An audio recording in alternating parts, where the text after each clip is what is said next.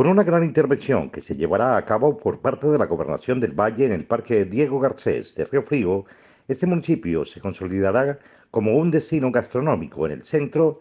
del departamento apoyando el mercado local. Una inversión superior a 5 mil millones de pesos estamos haciendo, dándole una nueva cara al municipio de Río Frío a través de la construcción del parque principal, en el cual pues se asientan eh, miembros o representantes de lo que es la cocina tradicional vallecaucana, eh, en especial pues el tema gastronómico asociado a las frituras, eh, que tiene tanta representatividad para este municipio y pues que lo hace un hito turístico del Valle del Cauca. Bueno, como decía, es darle una nueva cara al municipio de Río Frío. Eh, en estos trabajos estamos generando espacio público efectivo para todos los habitantes de este municipio y adicional a eso se está generando infraestructura del comercio gastronómico que es muy fuerte en este municipio, esperando pues brindar unas mejores condiciones para los comerciantes y para los visitantes. La transformación que se realizará en un área de 11.834 metros cuadrados incluirá la instalación de casetas comerciales para las ventas de fritanga caracterizada, la recuperación de pasos peatonales y andenes